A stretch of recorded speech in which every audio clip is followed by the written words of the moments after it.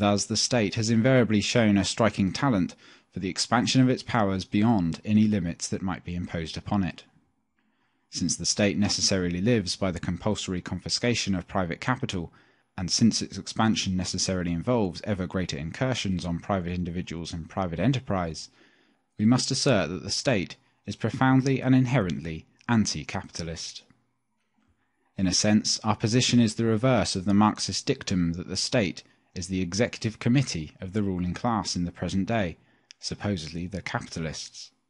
Instead, the state, the organization of the political means, constitutes and is the source of the ruling class, rather ruling caste, and is in permanent opposition to genuinely private capital.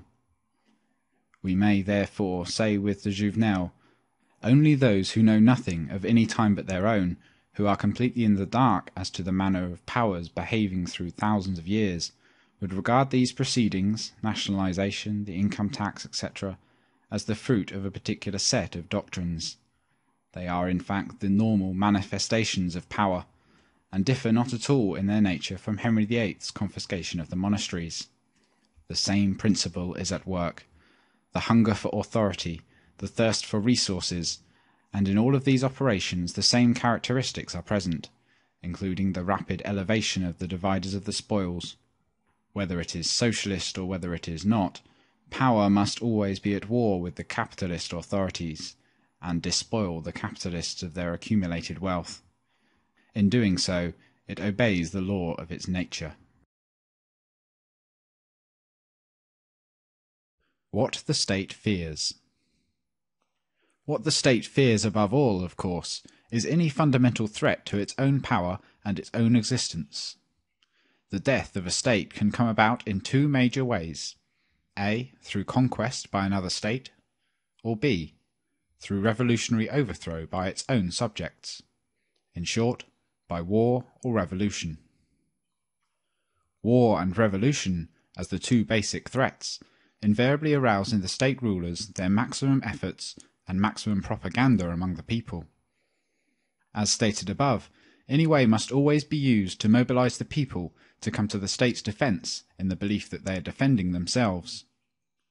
The fallacy of the idea becomes evident when conscription is wielded against those who refuse to defend themselves, and are therefore forced into joining the state's military band. Needless to add, no defense is permitted them against this act of their own state. In war, state power is pushed to its ultimate, and, under the slogans of defense and emergency, it can impose a tyranny upon the public, such as might be openly resisted in time of peace. War thus provides many benefits to a state, and indeed every modern war has brought to the warring peoples a permanent legacy of increased state burdens upon society. War, moreover, provides to a state tempting opportunities for conquest of land areas over which it might exercise its monopoly of force.